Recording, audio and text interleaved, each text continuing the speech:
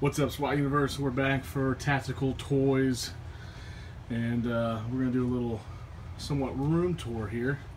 Has nothing to do with toys, but it's one of my pride and joys. It is my. Uh, this is actually used on the set of Raw back in October of 2013.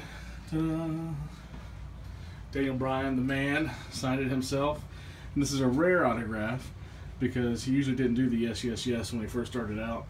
And I actually haven't seen him do this in quite some time. But he is retired now, unfortunately.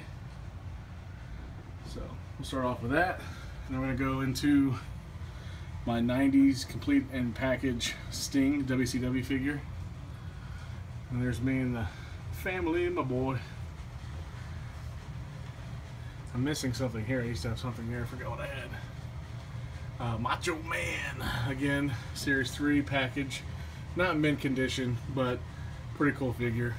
And this is just some of my personal collection stuff I don't have. Uh, not a big football fan, but I bought a bunch of figures from this lady, as you can see right here. And they had a lot of quarterbacks and football stuff. So there's Matt Leinart, Tebow, Florida Gator. All right.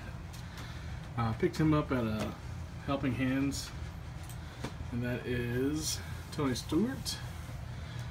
I don't know, I picked up some Pirates of the Caribbean patches for resale. I'm not sure why.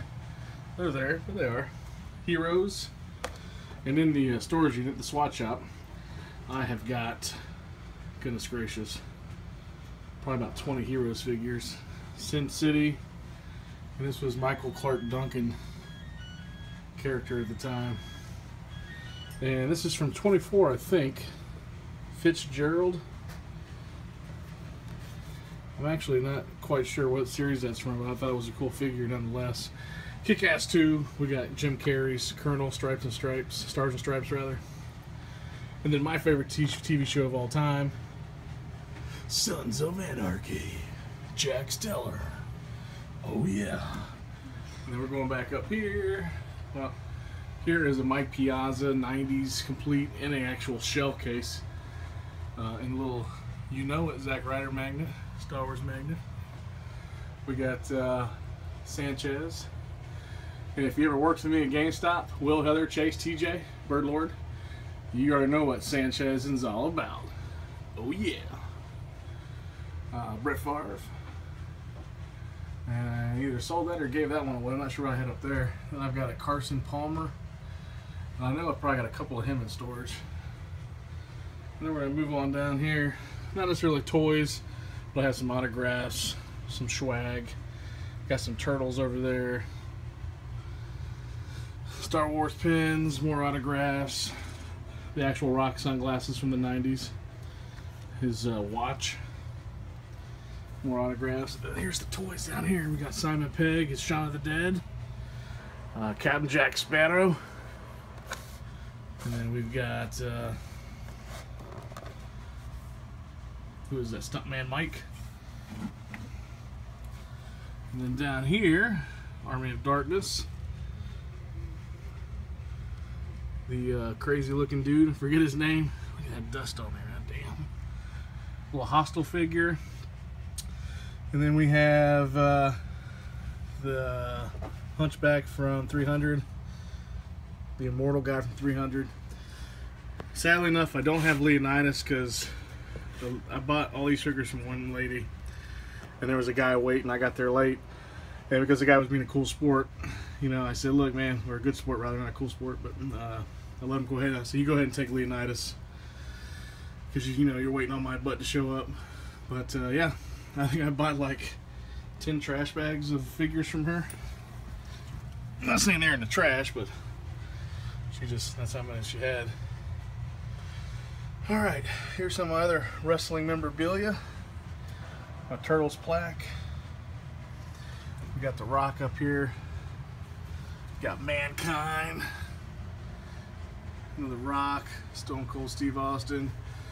A little shout out to Matt and Jalen. Uh, sent that to me, which was really awesome. And then I got that from the OGP back in the day. Then I got uh, some Loot Crate pins, Transformers. Check out, check out, check out the Money Man back in the day. On some money I didn't even know it. Pictures of my kid. Fun things do at GameStop as a manager. Met R2D2. And my mess on my desk. And laptop and pops and